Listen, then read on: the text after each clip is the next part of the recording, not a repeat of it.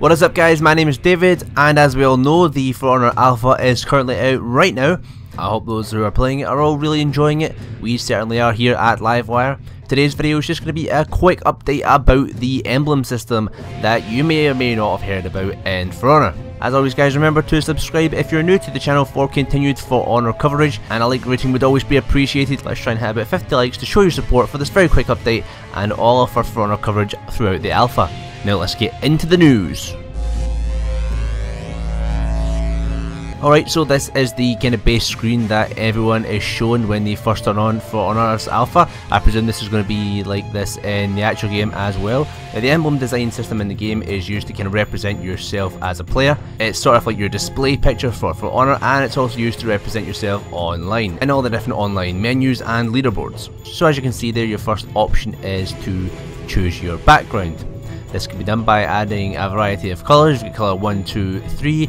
Your option there to transform is in terms of the background styles, uh, size, rotation and all that stuff. You can also use the randomize button there to randomize if you're not that creative and the game will make something look really cool for you on its own.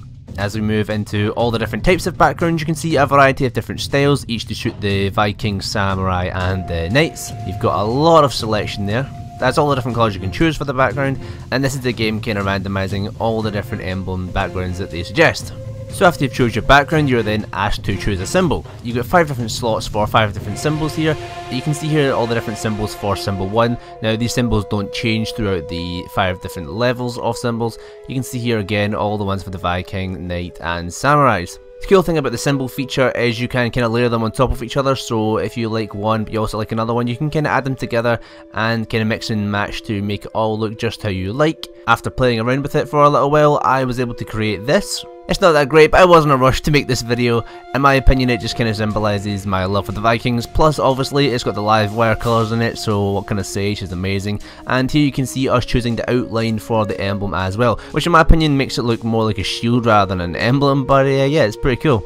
Let us know what you think about the emblem creation in the comments below. Also let us know what kind of emblem you're roughly going to be creating. I'm sure you're all bursting with ideas for this game and would really like to hear about them. As always you can check out all of our news videos by clicking on the playlist here. You've also got all the other stuff we do on the channel here and you can click down here to get to know us a little bit better. And we'll see you in the next one.